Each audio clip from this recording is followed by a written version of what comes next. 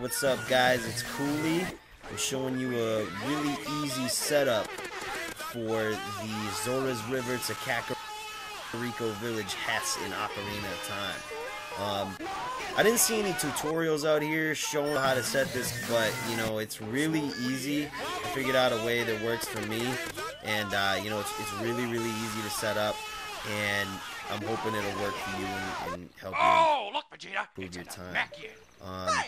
A lot of people set it up by that bridge down there, which is perfectly fine. You kind of backwalk all the way to that bridge, and then you just, you know, you kind of jump off the side of it and, you know, start doing your Hess when you're, uh, you know, when you're falling. But this way is a little bit So quicker exactly because it mean, allows you to Hess the entire way to mostly on Kakariko water. Village.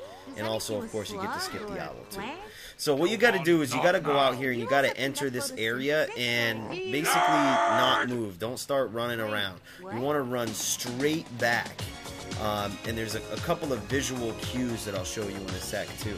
But you basically want to run straight back. There's a little white spot by the sign, and when you pass that, there's going to be like another little yellow sandy spot. As soon as you get just outside of that, just stop. Um, you know, and, and hit Z target. It's not extremely specific. The real lining up will come after you cross the river, but that's like the whereabouts. So I'm gonna go back in um, and back out just to line it up and show you what I mean. So you want to come straight back, and after that visual cue, bam, hit Z target. To And now it's like three side hops is what's gonna get you over across the river. So one, two, three. I like to do a third one right here to make sure I'm really flush with the wall.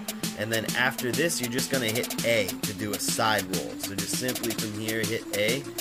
And in the middle of your side roll, you're going to want to release Z target and then re Z target. It's going to look just like that. Alright?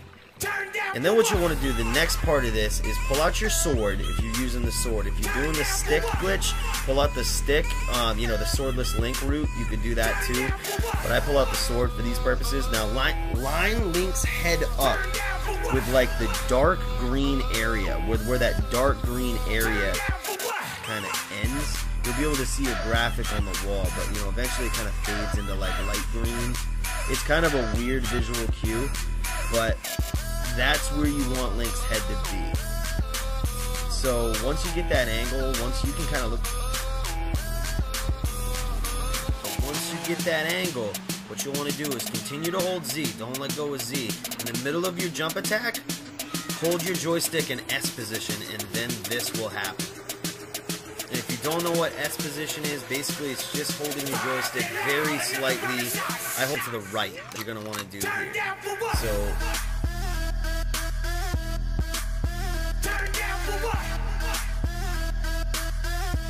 your joystick in ESS position slightly to the right. And again, it also works with the uh, with the stick.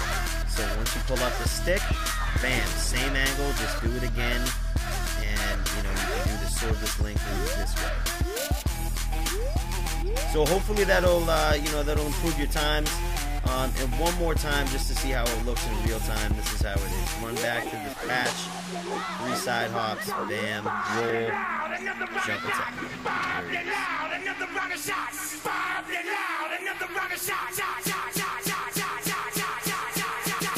So again, a lot faster than you know uh, the beginner's route, and if in in my opinion, a lot easier to set up.